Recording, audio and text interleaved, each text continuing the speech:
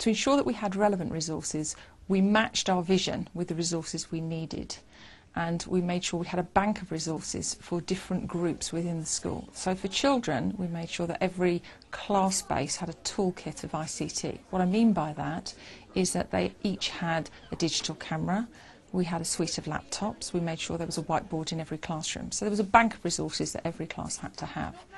We looked across the school for the operational needs of the school. We made sure we had an intranet so that teachers could swap planning, they could download data. For parents, we made sure there was a digital notice board. So we looked at each key group of stakeholders and decided what the minimum ICT requirements were to meet our vision.